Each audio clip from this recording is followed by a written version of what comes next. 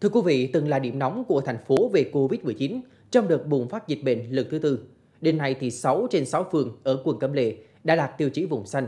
Đó là thành quả cho những nỗ lực không biết mệt mỏi của cả hệ thống chính trị và sự đồng thuận cao từ phía người dân, là tiền đề để quận Cẩm Lệ tăng cường thực hiện nghiêm các biện pháp phòng chống dịch trong tình hình mới.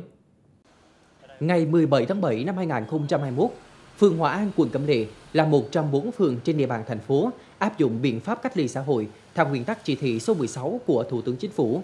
Sau phường Hòa An, lần lượt các phường khác của quận Cẩm Lệ ghi nhận nhiều ca mắc COVID-19.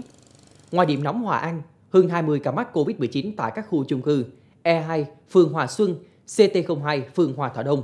Song với tinh thần đoàn kết, sẻ chia, các phường trên địa bàn quận Cẩm Lệ vừa lo chống dịch ở địa phương mình, vừa dốc sức chi viện cho các điểm nóng.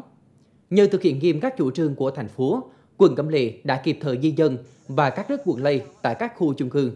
Cùng với đó, công tác tiêm vaccine phòng dịch được quận triển khai nhanh, hiệu quả. Hiện nay thì ờ, quận Cẩm Lệ đang tập trung cho cái cái công tác là phát động cái phong trào tại khu dân cư để xây dựng và bảo vệ cái vùng xanh của mình. Hiện nay là cái quản lý cái người từ vùng vùng dịch về vùng dịch về thì hiện nay đang hàng ngày là có từ 4 đến 500 người về cho nên là phải quản lý chặt các cái đối tượng này tăng cường cái cái cái cái trăm phần trăm đảm bảo trăm phần trăm cái lượng vaccine cho người dân hiện nay là trên địa bàn quận chúng ta đã đạt được gần 70 phần trăm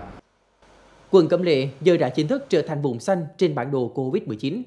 Đây là động lực lớn lao để đảng bộ, chính quyền và nhân dân quận Cẩm Lệ sớm cùng thành phố khôi phục sản xuất, kinh doanh, ổn định đời sống người dân trong trạng thái bình thường mới.